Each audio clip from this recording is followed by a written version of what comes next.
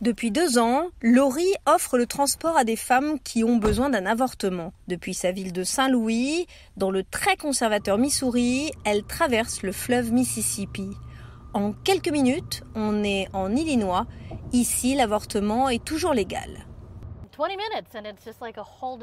20 minutes et on entre dans un monde complètement différent.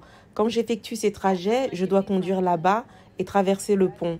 Et tout d'un coup, je suis dans un endroit où ces personnes peuvent avoir la procédure médicale dont elles ont besoin qu'elles ne pouvaient pas avoir là où je vis. C'est dans cette clinique, côté Illinois, que Laurie emmène les femmes nécessitant une IVG. Ici, le téléphone n'arrête pas de sonner.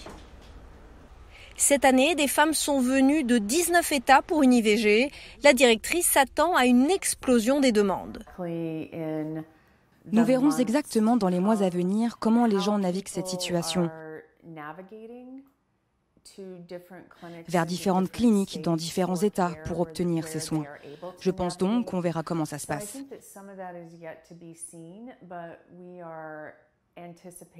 Mais nous prévoyons une augmentation considérable du nombre de nos patientes. À l'extérieur, ce militant tente de dissuader les patientes pendant que des bénévoles protègent les patientes qui arrivent. Pour les militants anti-avortement, la décision de la Cour suprême ne signe pas la fin du combat.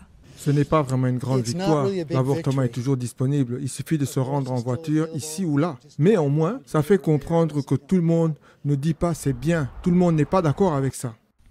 En 2020 déjà, 20% des patientes recevant une IVG en Illinois venaient d'un autre État. 30 000 femmes supplémentaires pourraient s'y rendre chaque année, estime le planning familial. Mais cela aura un coût pour les femmes dont les situations sont les plus précaires. Un avortement coûte entre 500 et 2500 dollars. Il faudra y rajouter le transport, l'hôtel, l'arrêt de travail.